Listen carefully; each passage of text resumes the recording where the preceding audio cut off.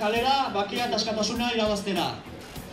Dagoeneko bost igaro dira eta denbora horretan guztian eskakizunak etengabeak izan badira ere, emandako, emandako pausuak inoiz ez nahikoak. Gaur, gaur egun espetxetako egoera aurreko urtetakoa baino larriagoa da. Eta espetxetik ateratzeko aukera urrunago dagoela dirudi. Izan ere, oraindik ezartzen den espetxeko legeria salbuespenean, neurrigabekerian eta mendekuan dago oinarritua.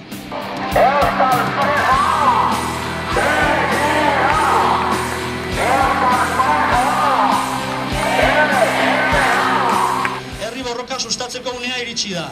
Eta peso guztiek galeratzea zein ieslari guztien itzuleraren beharra exigitzeko unea ere bai. Denak kalera. Sakabanak eta larriki kaixorik dauden presoen egoera eta presoek jasaten dituzten beste hainbat giza eskubideren urratzea salatzeko eskaeren, e, eskaeren ideia osagarri izan behar du. Era berean, presoen kaleratzea eta gatazkaren ondorioen erabakian gehiengo sindikal, politiko eta erakundek antolatutako ekimen, ekimenen osagarri. Kalera kalera, bakia eta askatasuna irabaztera. Batetik preso politikoei aukera eskaini nahi diegulako.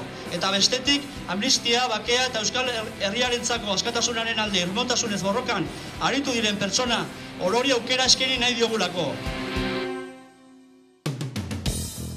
Gora euskal preso eta ieslari politikoak! Gora!